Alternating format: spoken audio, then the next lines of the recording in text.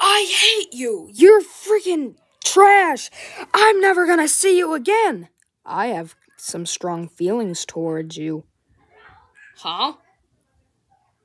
Um. Do you like my arms? Mm. Mm. Mm. Mm.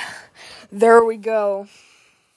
Then they lived happily ever after and got super pregnant with Speedy Ohio Baby Man.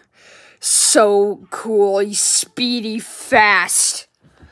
And then the baby got pregnant with Rat Dog Room P Man. He is super duper cool.